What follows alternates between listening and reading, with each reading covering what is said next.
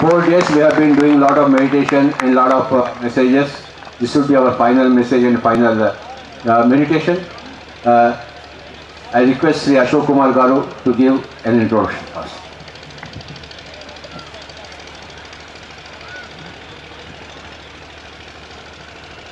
सुभाष भट्ट की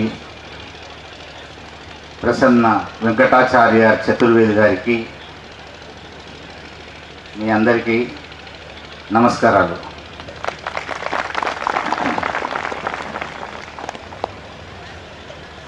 చతుర్వేది స్వామి గారు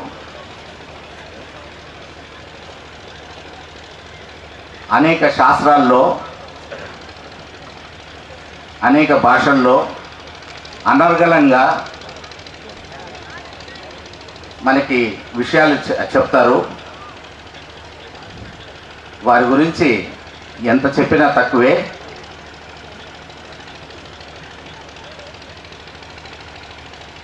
ఇప్పుడు మరియు అతి కష్టం మీద ఇక్కడికి రావటం జరిగింది. చాలా ఇబ్బంది పడ్డారు ట్రాఫిక్లో దాంట్లో ఈ మూడు గంటల ముందు రావాల్సింది తర్వాత వచ్చారు. ట్రాఫిక్ డిస్టెన్స్ కొంచెం అది తెలవక అట్లా అయిపోయింది. తర్వాత వారు ఎన్నో శాస్త్రాల గురించి తెలిసిన వారని నాకు నాకు చెప్పారు. తెలుసుకున్నవారు. అయితే నేను కొన్ని విషయాలు వారి వారు సభల్లో చెప్తున్నది విన్నాను. కొన్ని ఇంజనీరింగ్ విషయం తర్వాత శా శాస్త్ర పరిజ్ఞానం ఆత్మజ్ఞానం విషయంలోనూ వారు వారు ఇక్కడ చెప్పవలసిందిగా కోరుతూ ఈ అవకాశం నాకు ఇచ్చినందుకు మీ అందరికీ పత్రికారికి వారికి అందరికీ కృతజ్ఞతలు.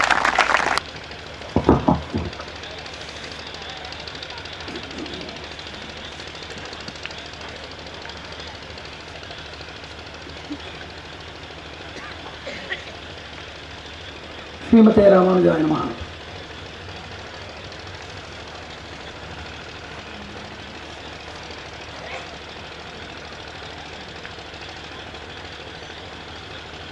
In this wonderful occasion, wherein we are seeing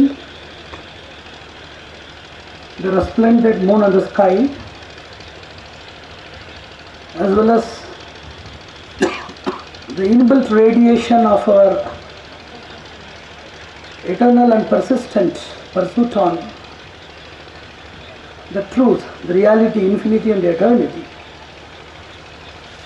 It should also be attuned in par excellence with the resplendence of the external tools of luster such as sun, moon, and stars. It is known as Antar Jyoti, the internal effulgence. Now let me come to the point of meditation. And as it has been initiated by various scholars pertaining to various schools of yogic thought, it has been deepened by so many people, simplified by so many people, so many demonstrators, accomplishers. They have defined yoga in various dimensional approaches. And there are six golden rules of yoga, which I want to put in a process of brevity without losing its sense of gravity and depth.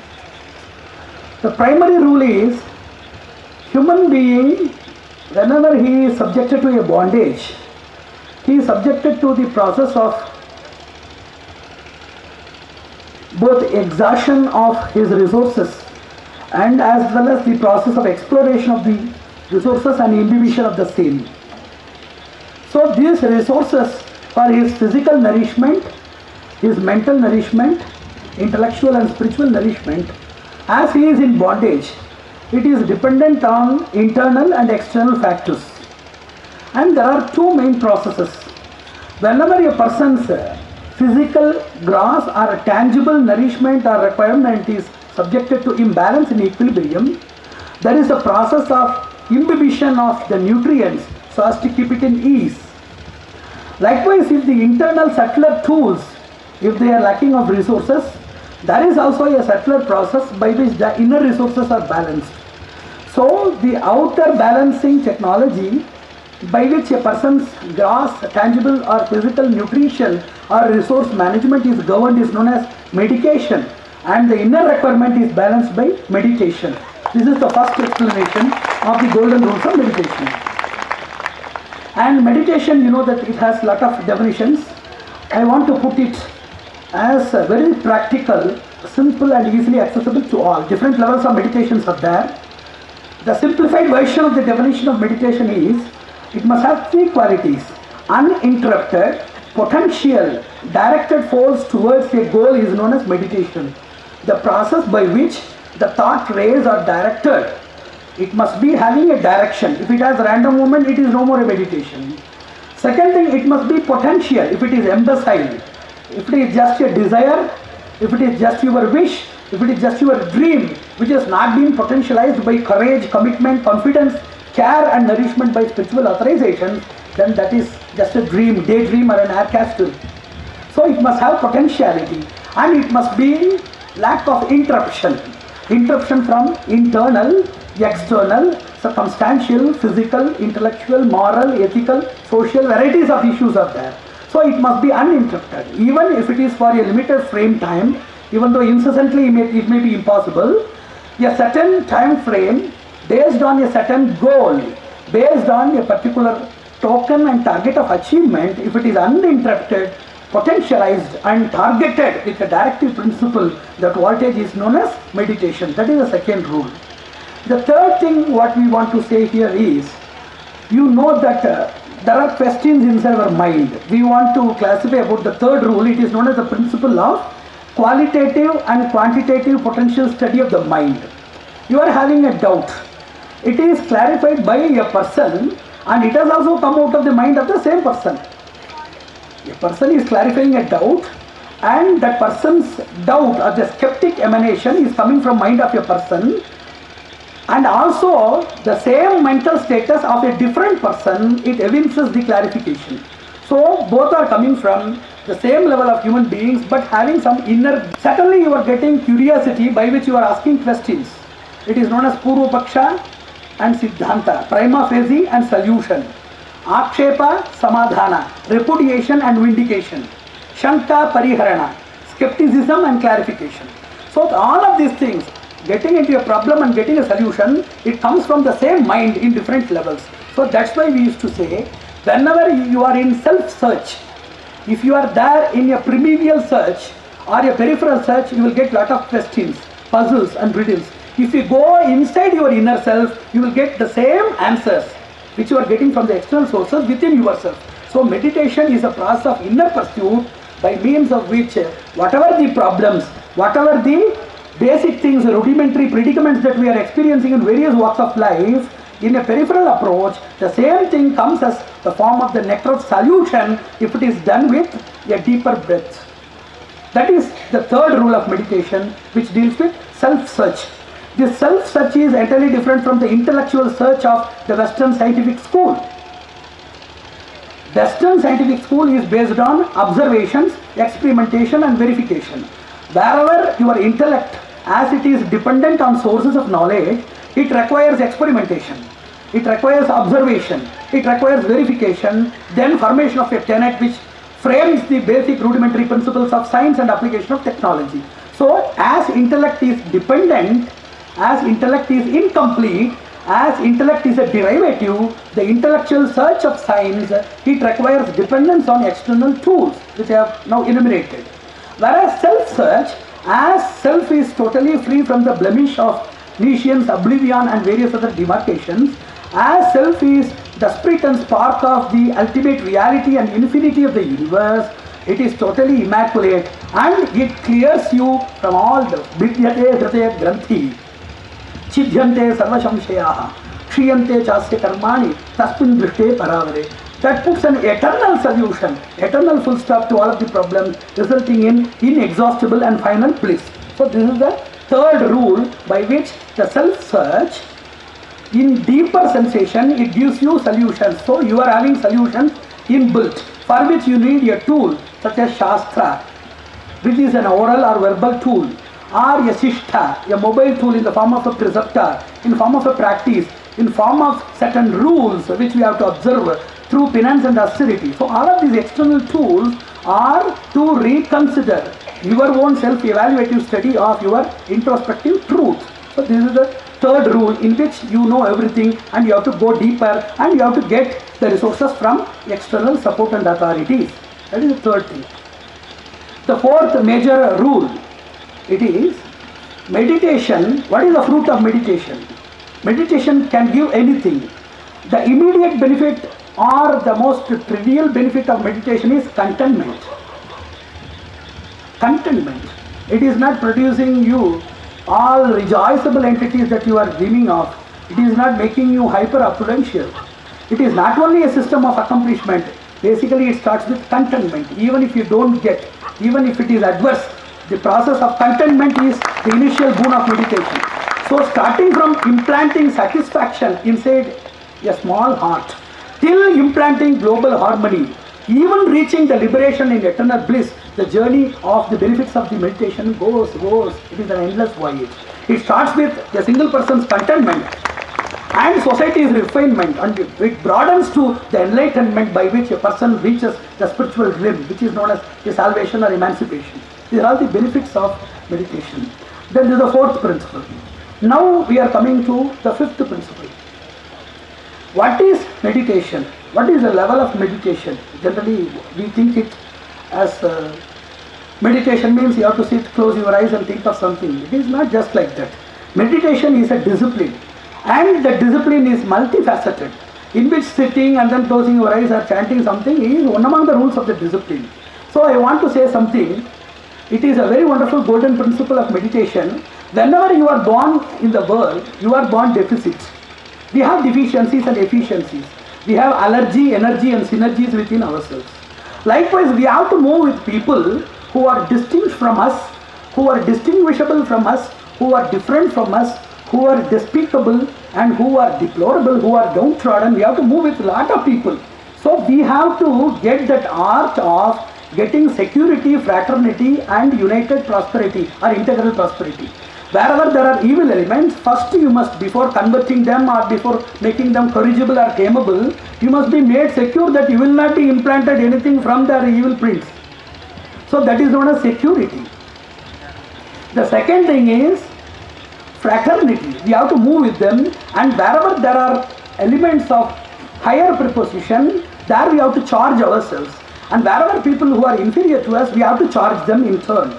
So meditation is a process of establishing global relationship which totally unravels the person's inner mystery as well as it levels the person's imbalances in the society. Wherever there are greater sources, you imbibe knowledge and power. Wherever there are lower surface, surfaces, there you need not show any prejudice, hatredness or adversity. There you can show your love, sympathy. So with a clemential touch, you are approaching the inferiors and with a sense of subservience, you are observing your obeisances towards your greater people by which you are qualifying the whole world. So meditation is a process of leveling the universal disparities. That is the fifth golden rule. And we are having no doubt lot of things about meditation. There are some small fragments of meditation which we have even misconceived as meditation. So somebody may be observing something very closely. So we are thinking that he is meditating. That is attention. You know that there are a lot of qualitative and quantitative nomenclatures. For example, gram, kg, ton, these things are quantitative nomenclatures. Likewise, qualitative nomenclatures are also there. Just a stone is there, marble is there, granite is there, coal is there, lignite is there. lot of products are there from the same destructive or uh, the various types of distillations from the same products as byproducts are as different various structures observed from the same emanation center. So these things are the nomenclatures of the same thing but with different quality and quantities. Likewise, whenever you move for a thing with aspiration, whenever you move for a thing, you exhibit your zeal to know that, that is known as attention. And the second thing is known as concentration. Concentration is often misconceived as meditation. Most of the people, they consider that concentration as meditation or meditation even, some people they used to interpret it as concentration. So attention is just showing your proclivity, your mental inclination towards the thing. One. Number two, concentration is deepening your proclivity, making your curiosity more effective to imbibe, to assimilate and retain the knowledge sources from that element. Meditation is a process of rejoicing those things. Meditation is not a process with effort. Meditation has no effort. All the preliminary projects of meditation, they start with effort. You know that whenever a person seeing a typewriter, he practices with AS, DF, GF, etc. So as soon as the process is over, whenever a person plays a veena or a flute also, initially he may be having some sort of uncomfortability and pain even while movements are there regarding to various uh, tonic scales and various positions, even in a typewriter. Then naturally, when the person thinks of the song, immediately he need not undergo the process of taking the song, framing the lyrics, disintegrating the lyrics into the swara prasthana, then playing those things with swaras and the. That doesn't happen. Immediately, automatically, the mental process of instantaneous conversion converts all sounds into phonetic notes. So likewise, meditation is a process of ease and comfort. So whenever a person feels uncomfortable, whenever a person realizes that he is having his body, its motion, its positioning, etc., that is not a process of meditation.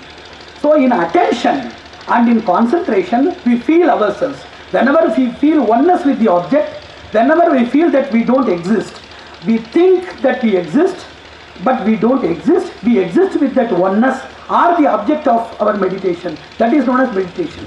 So meditation is different from the fragments of meditation known as attention and concentration. Attention and concentration is very much essential for all of our peripheral and ephemeral procurements. And meditation is required for getting solutions and accomplishments. So normal procuration is possible by attention concentration and abnormal, supernormal, preternatural accomplishment is possible only by meditation. Then there is a trance which is more than that. So these things are some of the rules and basic principles of meditation as per the Vedas. Then let us come to some more classification systems of meditation. There are three types of meditation. I have already told. A person's potential, uninterrupted and targeted drive is known as meditation. Somebody told me the people, the modern students, they don't have the power of concentration. They don't have attention at all. They are not paying any attention towards their education. They could not do that and they have lost their memory power. It is not so. It is memory or interest or exercise misplaced. Huh? They are very much attentive in cricket matches and they are having a very unfadable and unfading memory, indelible memory uh, towards uh, cricket, music and wherever the things in which they evince interest. They are having a very wonderful memory even more than their teachers. But that has been placed in a different area, not in the targeted area. That is the problem with that. So there are three types of misplacements. One is a trivial misplacement. Second is infinitesimal misplacement. First, uh, trivial misplacement. Somebody who is interested in a cricket match, they know just the statistical as well as the strategical report of each and everything that happens in a cricket. So there is also the same thing, what we call knowledge or memory or interest or commitment, but that is misplaced in a trivial background. Second thing is infinitesimal. Infinitesimal is in that is a prudential investment, then money minting technology, then savings, bond structures, all of these things are there in normal way of life, in mundane way of life, they are interested in various things.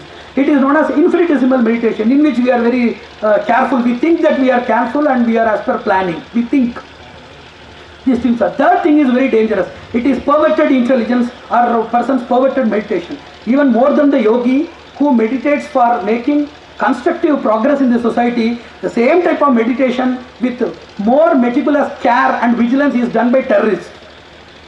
They are doing the same thing, but that is perverted, that is crooked, that is for the destructive execution of the society. So, the duty of the masters is at the budding level itself, at the impressionable age itself, this trivial, infinitesimal and perverted, that is a misplaced intelligence or memory or meditation, concentration or this type of fascination of the modern generation, they must be properly channelized and they must be, these aberrant situation must be totally dismantled from the society and they must be put in the proper track and orbit. This is known as uh, the three unwanted or misplaced systems of person's attention or concentration. Second thing is there are three levels of meditation. somebody may ask what is the use of meditation? There is a first level of meditation, second level of meditation and third level of meditation. The fruit of first level of meditation is self-perfection or precision. What is the goal of meditation? It is self-perfection. It is a perfection of, it is uh, psychophysical, physio-psychical, psycho-intellectual, epistemo-psychological, psycho-ontological, ontopsychological, ontophysical, whatever may be the different frames that are situated inside, a totalitarian or a complete and consummate precision in all of these systems is the fruit. So your immediate requirement is self-perfection. What is the second level of yoga? That meditation deals with rectification and correction of others. A person who is qualified in precision and self-perfection, he tempts to go into the process of correcting others. He can charge others. He can vitalize and potentialize the people who are sleeping, unconscious, and who are dead in their spiritual awakening or awareness. Those people, they can be charged. They can be just inspired, commanded by a person's energy, and they can be made as committed and capable citizens of the country. That is the second level. Third level is radiation, in which the person can liberate all. So each and everybody as a beginner, we have got the entry for special salient features by which we are going to take self-perfection. So this is a three layer system of meditation. Apart from the layer system of meditation, there are three more systems of meditation or types of meditation which we used to say in Shastras. One is casual meditation, which is known as Sahaja Yoga, in which you don't perform anything different from what you routinely do. Generally, we do a lot of things while eating, while sleeping, while going here and there in normal motions, in normal way of our lives and execution of our routinal duties. We used to follow something with a different type of thought, with a different purpose, with a deep mindedness used to do the same commitment that is known as Sahaja Yoga. Second is Pragati Yoga or processing meditation in which you take a process and take it as a part of life and meditate. Casual meditation is a routinal way of life in which you live your way of life which is no more different from a process of meditation. Second is a processing meditation by which you practice. It is specified by place, time, system, preceptor, institution and instructions and various other paraphernalia. So that is the second thing. Third thing is transcendental meditation which is unlimited which the deepened structure of meditation is transcendental which if you go inside there is no possibility to come back. That type of meditation is there. Then apart from these three types of meditation basic requirements for meditation they used to say as it is known as panchopakarana in vedas. First thing is conducive atmosphere. Second thing is comfortable mental setup. That must be there. So conducive atmosphere is external sources mental setup if you don't have proper mental setup you cannot just sit. Then convenient positioning. Then the fourth thing is a competent master. Fifth thing is com- compatible subservience or undertaking of the master's instruction with obedience and sincerity and honesty. So these five things they qualify real meditation. So meditation is for two types of people. One is a sadhaka and second is a siddha. Sadhaka is a practitioner and siddha is an accomplisher. So if a person starts he must start with a conducive atmosphere. Conducive atmosphere means it must be devoid of noise, you know, it must be free from pollution, it must be a place like this, eh, with the natural scenic vibration, just as we feel here. So that is atmosphere, apart from which we used to have some positions, convenient position in which our body can be placed. It is not only by yogasanas, by proper diet, controlling our obesity, controlling our movements by proper way of execution of our physical actions. So it gives you convenient positioning. Then uh, comfortable mental setup, we must be prepared and totally dedicated for at least an interim meditation. Even though not for a total way of uh, surrender or something else, at least we must be prepared for an interim subjection towards that material realm and material zone. And a compatible subservience towards a competent master must be there. These things are known as upakaranas, the five major elements which are required for one's yoga. Then there are one more, one more thing is also to be studied. One is known as uh, acclimatization and the second is known as selectivity. There are two more things to be read along with this. What is acclimatization and what is selectivity? You select some atmosphere, you select a person, you select a pose and you select a mental setup and you practice. It is at the beginner's level. This level is known as selectivity. If you have good practice, even if the atmosphere is controversial to your mental setup, even though you are uh, totally disturbed in your mental setup, even though the master he may not be physically present within you, and even the position may not be convenient to you at any position, at any place, at any time, at any circumstance, you will be capable to get that uh, meditation bliss and meditation experience. That type of stages is known as acclimatization. If you just make everything conducive to you, and if you practice and achieve, then you can get the alchemical miraculous power of converting everything to your favor. Huh? That is the real accomplishment of a yogi, and that must be goal of any person. Because uh, the world is the world is full of odds, and we are very limited people. Four thousand, when compared to that of uh, the global population, it is very infinitesimal. But when compared to that of uh, the present era, wherein by the people are totally demoralized, thousands of people at this time, thousands of people at this time, with unfading zeal, with glittering enthusiasm, surrender, sincerity and commitment, it is really wondrous to see that. So, but still, the global position is entirely different and we must understand qualitatively we are rich. That's what I used to say in all of the conferences. If foreigners invaded our country, the 30 lakhs people, they were dominated not by 15 lakhs or 20 lakhs of people, only few thousands. But they were integral and they were forceful, they were committed. And even if a nation is spoiled by terrorists, how many terrorists are there? What is the proportion of the terrorists uh, in compared to the, population of India? So they are committed, integrated and they are organized and we are unorganized. So the unorganized crowd, even though that may be millions and millions, uh, they are equal to just uh, a flock of sheep which has no proper direction or energization. So that is the thing. So here we have all conglomerated to understand the greatness of meditation as per the Shastras. So here these type of classifications that throw more light. Already you have been practicing meditation. Already you have been instructed with lot of ideas. So understanding more and more things that clarifies so many doubts which we have not known that they existed with us. Lot of doubts that have been just thronging inside our mind. Everything will be answered and already whatever the performance that we have been doing that will be deepened, that will be broadened, widened and that will be revitalized and augmented for hyper productivity. That is the greatness of learning more and more even though a person is an accomplisher. So an accomplisher is a person who can create a circumstance. And a practitioner is a person who is tamed or enslaved to circumstances. Let us first be enslaved by circumstances. Gradually we can enslave and tame the circumstances. These are all the various classifications of meditation. Then I want to give two major ideas or two major principles of meditation. What must be the goal of each and every person who is meditating? The first goal of meditation is meditation itself. Why we are meditating? We are meditating to meditate. Meditation itself has its own purpose. Meditation is bliss and meditation is the end of life. It is the purpose of life. So we are meditating for meditating. Second thing, it is more wondrous. It is stupendous to know that the second goal of meditation is to meditate for those who don't meditate. Number one.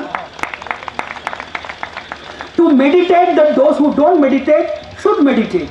It is the second phenomena of meditation. अलक्षितानाम अश्रद्धालूनाम अविश्वस्थानाम अपि उद्धरण हेतु those who don't believe in meditation those who consider it to be very negligible and those who are antagonistic those who are skeptic to the process of thinking about the god with gratitude thinking about the reality of the universe thinking about the global fraternity and universal brotherhood such people they don't deserve existence or survival. They just exist. They don't survive. Those who just be there in the world for their material gratifications they exist those who want to know something they survive. And those who are in the process of knowing something they dwell. Or those people they live. And those who are showing the way for others they only flourish in the world. This is the process of existence in the world. Other people just exist. So we must meditate for those who don't meditate that they must also meditate. So every day because a limited people of a mass in a particular area on a particular occasion, that type of meditation is insufficient. It is not inefficient, it is insufficient for a global transformation. So you meditate that those who are against meditation, those who are against the process of repentance, those who are totally immersed in the process of retaliation and revenge, not in the process of repentance, recognition, realization and rectification. They are not in that process. For those people, those who suffer, those who are the victims of terrorism, drought, natural disasters and various other things. We know about a lot of things now the modern media network that has linked us with each and every global move. So we have to think of them and we have to meditate. Those two principles are considered to be the motto of meditation. Meditate to meditate, meditate for those who don't meditate and meditate for those who don't meditate that they should meditate. This is the motto of meditation. So apart from this motto of meditation, I want to say something about the integral network of meditation. What is meditation? I have already told by sitting and closing your eyes, it is not meditation. It is a complete network. It is an ontoneural network which comprises of eight limbs, you know, Ashtanga Yoga. First of all, a person must be qualified with its external and internal restraint. That is known as Yama and Niyama. So unless a person is qualified, you see, making a body flexible, moving the body is flexible, that happens in various occasions. In dance, we move our body. That is cultural movement. In puja, punaskara, everything we move. That is known as mudra or yaga bhava or puja bhava. In that also we have movements. That is in the process of pradikshana, in the process of namaskara, in the process of uh, avahana, upasthana, visarjana and various other executions and rituals, we move our body, some parts of the body. Dance, we move most of the parts of the body. And in athletics, we move our body. Specified movement of the body is there. In gymnasium, we move our body. In wrestling, the body, it plays the major role. So, body is moved in various positions as per the requirements in various skills. What is the difference between those skills and their movements correlated to the movements of yoga asana? So, it is the movement. Athletic is the movement for execution of the particular act. It may be jumping, which is known as a target acquisition. Common, it is known as target acquisition. I want to touch this. I want my product to reach that target. So, this is known as target acquisition. Gymnastics, it is a show. And dance, all the bhavas are shown in various motions uh, which exhibit the various rasas inside. So each and every movement has its own particular purpose. So the movement of the yogasana, the various postures of the human body in Yoga Shastra, it is nothing but making the body flexible enough to be a good receptor and reflector of divinity. That movement is entirely different from the movement that is exhibited in various other things. So if you want to just move your body for your physical salubrity, if you ask some person, like a great wrestler or like Muhammad Ali, if you ask the person that he is interested, whether he is interested in self-realization or not, that is entirely different. His goal is entirely different. So the goal of moving the body or positioning the body in various postures in Yogasana is for its spiritual adaptivity, spiritual reflection and spiritual receptivity. So for that it must start with yama and niyama. So a person must be well trained in yama and niyama. If a person is not well trained in yama and niyama, the process of restraint, then movement of his position, that is the body, like marjarasana, shashasana, then mrigasana, just he is keeping the body in the position of, for example, in dhanurasana, he resembles a bow. Marjarasana, he resembles a cat. Shashasana, he resembles a rabbit.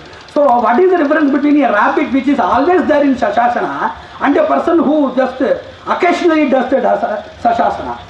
So Shashasana and Marjarasana, various postures of these animals which we occasionally keep uh, without any realization if it is going to give a result. All the asanas are permanently, persistently done by those animals, depicted, uh, exhibited by those animals.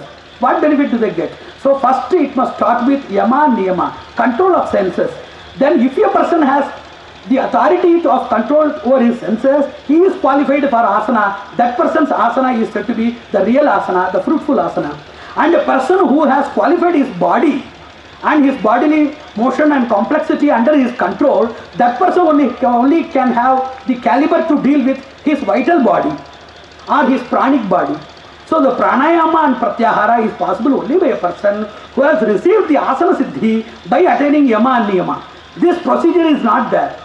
We used to always say that, for example, if there is a person playing some game like bar game in which the persons used to jump in bar in circus, they are having physical fitness, they are having experience, they are having alternative bars, they are having persons to catch. Even if they fall down, they are having a protection net. So they are having a fullest integral system. So for qualifying also as a protection shield, also as a booster, the yogic system, all the eight limbs, they are totally interrelated. And now we are seeing to- totally the persons uh, different in the system of yogic practice in the society. Persons without knowing anything about Yama and Niyama, thinking Yama is the god. They don't know anything about Yama and Niyama. Directly they go into asana. And Pratyahara is not known in the society, Pranayama is ruling. And Dhyana is there, and without Pranayama, Yama, Niyama, direct Dhyana is there. The purpose of Dhyana through Dharana and Samadhi does not exist. So the integral system of understanding first a person's qualified restraint, which potentializes his body to be spiritually adaptive. Then, if the physical body, the gross body is adaptive, his vital body, the prana sharira will also be adaptive. If both of the things are under control, then dhyana, mind can be kept in control. Then dharana, the vijnana can be kept in control. Then samadhi, the ananda status, the bliss status can also be kept in control. So it is a totalitarian study of the school of mysticism in which all play equilateral and equipotential role. It is known as a consummate system of yogic thought. So no doubt you have to start with some prasa meditation or few asanas, but by understanding the substratum as well as the purposes, the previous steps as well as the goals that you have to complete must be enrolled for getting the fullest success. Then the second thing, apart from this integral system, there are a lot of systems of yogic thought, and depending upon your person's taste, desire, and background, they can select. First thing is the Eastern and Western schools of study of mind and mind control and intellectual research, self-search, etc. We are having ancient and modern systems.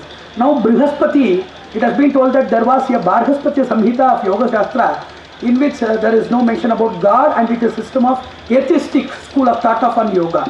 And Lakshmi Narasimha, that is the Narasimha Devata, he has initiated, he is known as Yoga Narasimha, he has initiated a pathway in which there is a devotion towards Lakshmi Narasimha for accomplishing this mystic success. And Yogeshwara, Krishna, he himself he propounded Karma Jnana Bhakti Prapatti Yogas, various type of yogas for understanding divinity and attaining the same.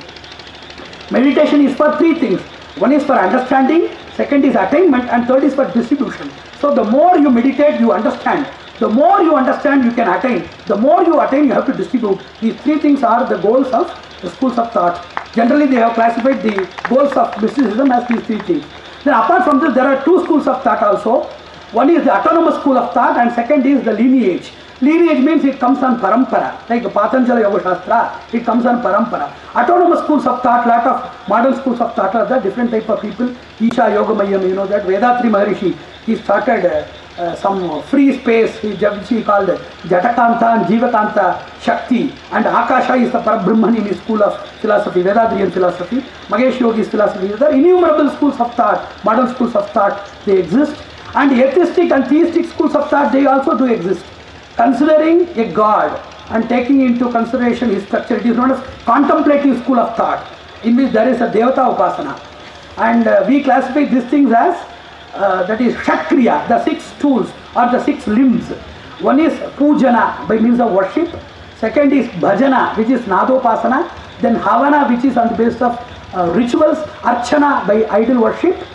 Then uh, Kshetradana by pilgrimages, Upasana by Antardhyana. So these things are the six schools of thought that existed uh, in our uh, Vedic way of life. So these type of schools, they do exist. Apart from which I want to conclude this session by saying that there are three uses, three utilities for meditation. One is the immediate utility, second is the mediate utility, and third is the remote utility or the most broadened utility. The immediate utility is we must have three qualities basically in our life. And uh, these qualities only enrich our relations and their permanence. One is uh, adjustability, second is adaptability, third is upgradability. Adjustability is even in, in areas of conflict or imbalances, trying to make ourselves attunable to the situation is known as adjustability. And adaptability is even without adjustment, directly capable of being uh, a capable tool, a potential tool to handle any situation that is known as adaptability. Upgradability is a situation in which we can upgrade ourselves and also we can upgrade others. So if a person can adapt things, if a person can self-upgrade or upgrade others, endo-upgradation and exo-upgradation. If a person can adjust, can adapt things and also upgrade things. Adjustability is not hyper adjustability. It does not mean that even if uh, somebody will be drinking or somebody will be doing all sorts of nonsensical works, we must be adjusting or adapting the same thing. There we have to use the tool of upgradation. So adjustability must be on the grounds of adjustable areas. And wherever there is adaptability possible, we have to adapt. And wherever there is a quality inheritance that is weakened inside a person, there the person's morale, the person's restraint or uh, self-repension or uh, thinking process that must be enriched by means of an upgradability from your spiritual radiation. So we must have these qualities of adjustability, adaptability and upgradability without which we suffer in four relations. Generally we have relations but four bondages are there. One is the bondage between wife and husband and second is between parents and children.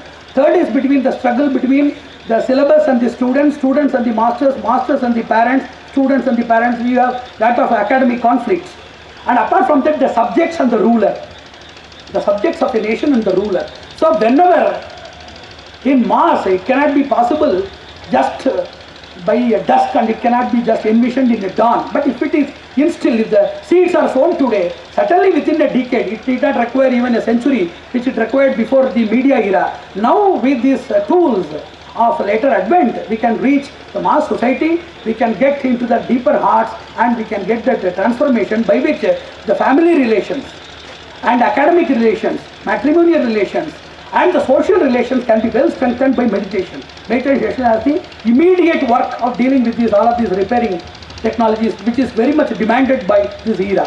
The second thing is mediate. Even if a person, he applies science and technology, number one. Second thing is political enrichment or good governance. Third thing is energy resources management. So certainly we have to conduct a five days or six days workshop in which talented people can be brought in each and every subject. How meditation can be brought into energy resource management. How meditation process can cater to the need of a good governance. Science and technology. Then relationship management. Rehabilitation like uh, drug de-addiction, prisoners rehabilitation, terrorist rehabilitation, etc. Then even athletic success. I have been invited by the Athletic Research Institute of Ahmedabad to deliver a lecture on the role of consciousness and its application for athletic success by the Olympic Research Committee. So, if the persons do meditation, meditation is a broader thing, even though not for emancipation, even for their success, within their limited principles or desires, they can execute meditation. Gradually, they can be upgraded to the level of thinking about God or universal spirit. So, for athletic success also it can give. These things are immediate things. Likewise, we can also cater to the need of the universe. How global warming is there.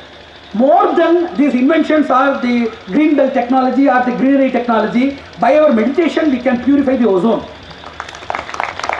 Somebody must establish a research institute because it is uh, an empirical era. You establish a research institute and have a satellite connection of understanding the ozonic inputs and by mass meditation just as Maharishi Yogi is doing for this uh, terrorist uh, rehabilitation or uh, counter-terrorism activities and for global warming lot, lot of projects they do have. We must have a satellite, we must have a latest center for research, we must have also our own info school, EduSat and e-learning systems by which this knowledge must be imparted to the various corners of society. Therein by empirically we can prove that uh, this mass, integral, federated and unanimous call, cry and craving of good-minded souls will awaken the global spirit and certainly it will be answered by a fruitful result. It must be made known to the society by empirical demonstration. That we have to do in the form of even this place is vast. Here we can establish. I feel that uh, within few years a research institute may be installed here.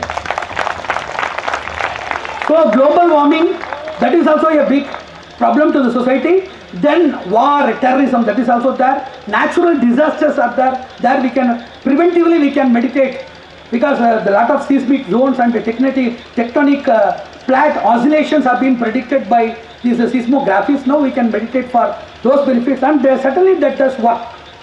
And uh, apart from these things, epidemics and fatal diseases, inter-religious harmony and international relations. These six things are very much essential for the world. So starting from your adaptability, adjustability and upgradability of yourself and science, technology, athletic and other success for the nation and society and ending with global warming problems and natural and artificial disasters, epidemic and fatal diseases, inter-religious harmony and international relations. We can achieve anything by meditation if it is pure, if it is properly directed, if it is properly nourished, if it is properly irrigated by a vigilant and merciful master. Certainly it is possible. So this is the ultimate goal of meditation and uh, we have to establish two committees. One is uh, the benefactor, second is the beneficiary. All like-minded people, they must integrate together. I already told you on terrorism uh, conference, I told that there is only difference between terrorists and patriotists. The patriotists, they seldom see and meet each other and discuss. They just speak in the platforms and they just go away. They just speak in the platforms and they just go away. The terrorists, they have a common network. Daily they contact with each other through mail or through fax or through phone. They regularly contact till their goal is accomplished. The destruction is accomplished. They used to have regular contact. All like-minded people. I may have some personal philosophy. Even though we belong to the Sri Vaishnava Vishishtadvaita Sampradaya, that is my personal belief. And I used to instruct everybody the same. As well as the global benefit is concerned, I used to say it as common binding instinct. If 50 persons travel in a bus, they will be thinking about a lot of things. I want to go for a marriage, I want to go for shopping, I want to purchase this and that. If the bus is falling from a dam or bridge, at that time everybody will be having a common binding instinct that they must be saved and they must save each other. That is known as common binding instinct. So even though we are different, even though we are distinct by our principles, still I accept that there must be a global renaissance, a global transformation. So with a common binding instinct, we must be ready, we must put aside all of our personal beliefs, personal uh, restrictions and demarcations. It does not mean that we can throw it away. Having that in our mind, still we can coexist and cooperate and establish a peaceful and prosperous society. So we have to establish a center for benefactors and we have to concentrate on three people. One is the pregnant people for whom we have to meditate that they must possess good issues. And the second thing is newly born child. They must be done with good samskaras so that they will shine as good citizens. And youngsters and boys, they must be totally concentrated. If the pregnant, newborn, najata, sabjojata, jata, if these three civilizations are not considered by us, then we have to work for several centuries to reform this society. Those people, they are energetic, they are going to form the future society. Let us meditate. Wherever we can execute by our action, we can do that. Wherever we cannot reach by time, distance, space, and other limitations, we can meditate for that mass so that they can be either tamed or trained or at least tameable and trainable. That we have to meditate first. Then let us start the Purna Yoga. That's what I used to say. Purna Yoga is complete yoga. Yoga system which deals with all of these things, which answers to all questions, which embraces all persons who are shivering with fear, insecurity, immoral, and various other ugly and evil hits of the society. It must give solace, it must give shelter, it must be a shield and armor of protection. That type of yoga system is Purna Yoga, and whatever that deals with your personal uh, development or progress or institutional development is Apurna Yoga. So let us concentrate for a Purna Yoga and this is an occasion in which the Purnima not only shines outside in the sky, also in your endocosmic reticulum wherever it shines. In your mind, endocosmic reticulum means it is your Chidakasha. In your inner resplendent moon that I have already referred in my prologue, let the moon, let the knowledge, let the intellect shine in your mind and let the ultimate reality, the embodiment of superior and unconditional blemishless mercy and craving for the upliftment of the mankind, the whole society, that is the Paramatma, the Brahman, whom we call as Narayana, let him shower his benedictory nectar on all of you for self-realization, perfection. Narayana, Narayana, Narayana.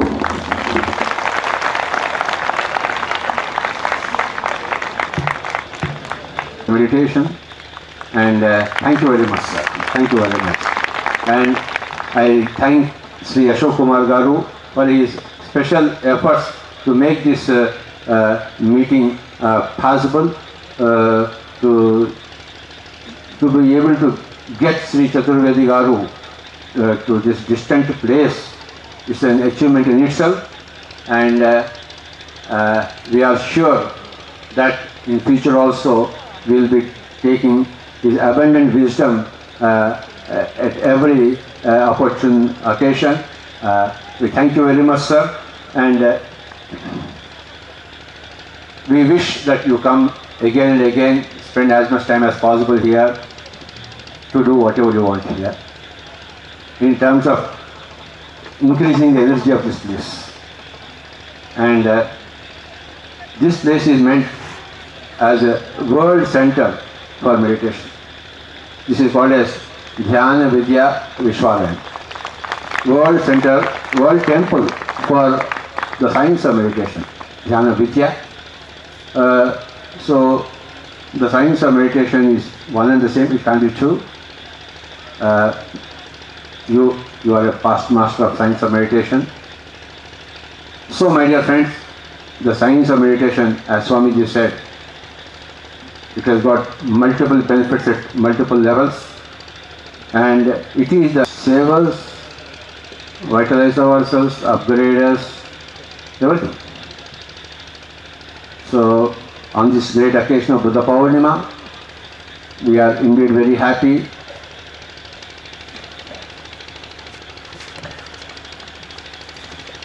small memento.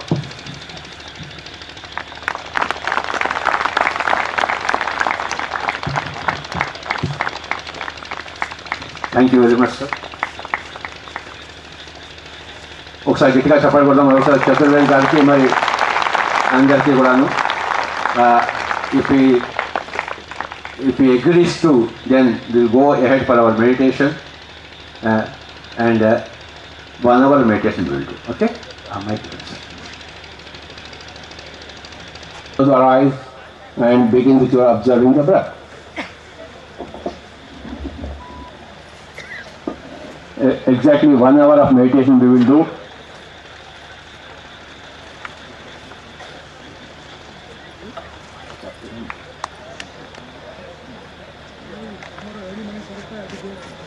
ఒకసారి గట్టిగా చెప్పడం కొంచెం చతుర్వేదాన్ని first మనం పంపిద్దాం